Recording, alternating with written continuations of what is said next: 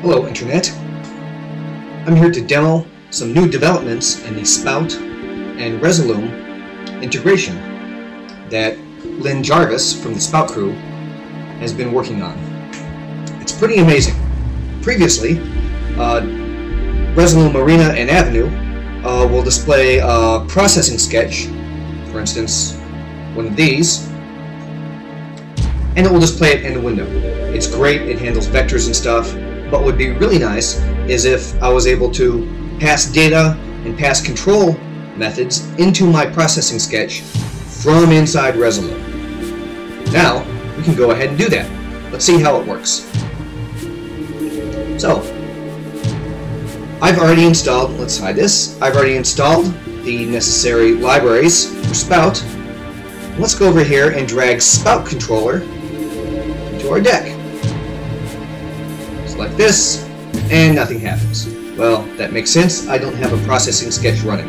However, you'll see that we have some parameters. Speed, start X, start Y, index, and Y, show path, user text, things like that.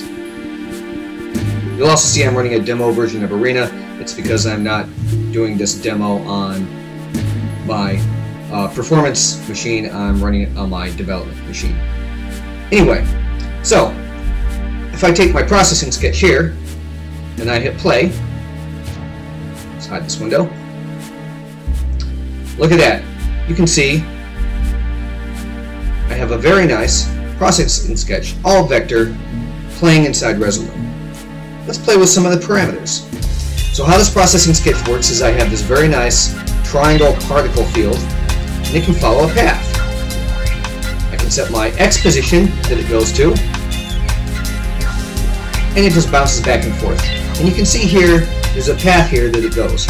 I can adjust my X end X position and move it over here, and it goes from one end of the screen to the other.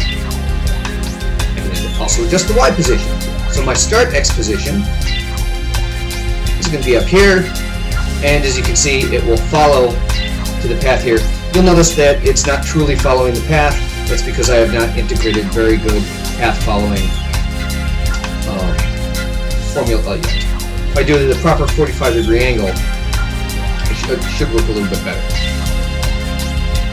Now, just like the way Flash plugins work in processing, you have a choice of Boolean, string, and float values. So if I want to hide the path, I'll toggle the show and hide path button and you can show and hide the path this way. And let's just keep it going horizontally because that seems to um, make the most make the most sense. Let's have a perfect horizontal movement here. And of course, one nice thing is that we can actually integrate really good text. So,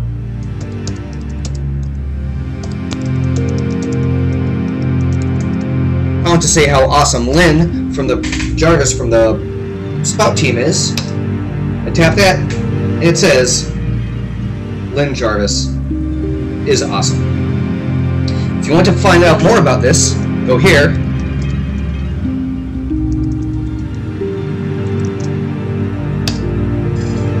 And be sure to support these guys.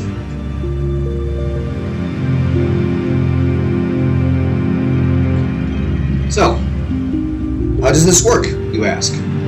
Well, it's quite simple. If you go into your plugins folder for Resolume, Avenue, or Arena, you'll see a text file there called spoutcontrols.txt. See, spoutcontrols.txt.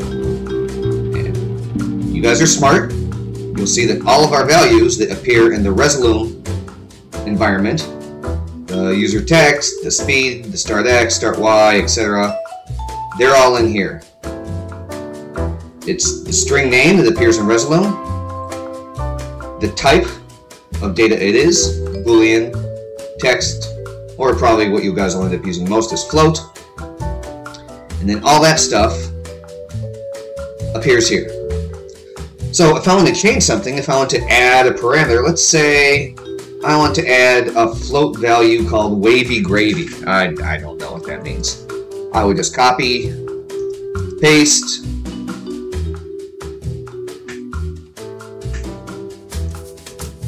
wavy gravy. Bam. Gotta have my comma. Save it. Nothing happens, but if I drop Spout Controller back onto the Resolume environment, come on, you'll see here, I have a new value called Wavy Gravy. It's pretty awesome. Now, obviously that's not doing anything to my processing sketch. I would have to add that in here.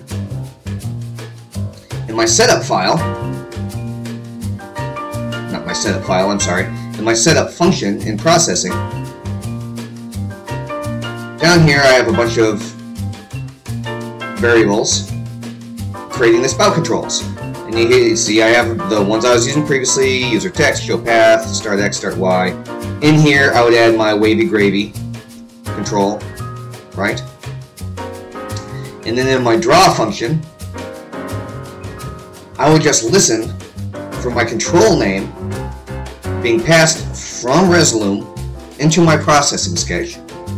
My control name has the string of whatever control value I want, then do something. And in, here, in this case, I'm changing the X and the Y position. So you, there you have it.